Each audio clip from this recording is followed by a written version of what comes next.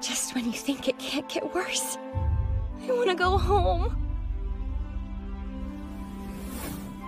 Cut it out, Brain. Bad. I'm not gonna sit here and set up my own death flags.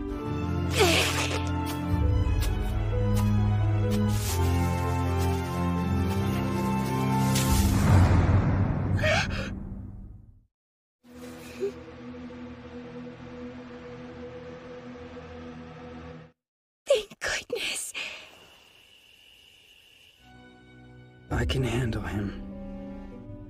If you take me back with you, I'll be looking at lifelong imprisonment.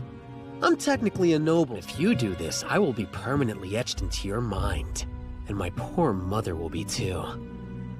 Everything he says pisses me off.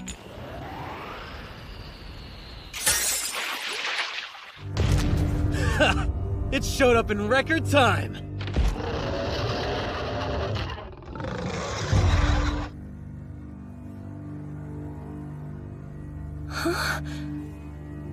Again? Does this mean I'm gonna die all over again?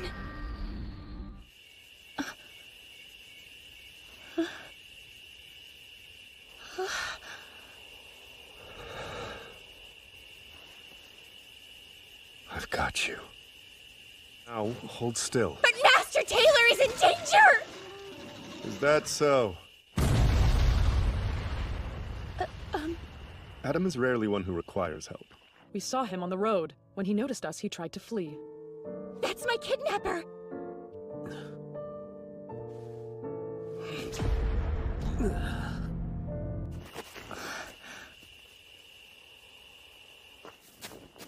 There he is!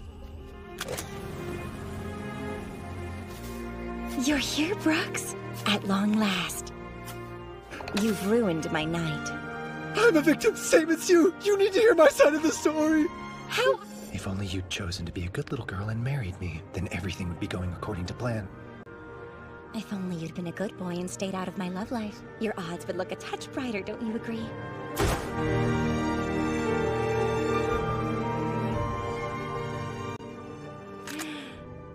I feel much better. Give me a moment while I etch this into my mind, off my shoulders.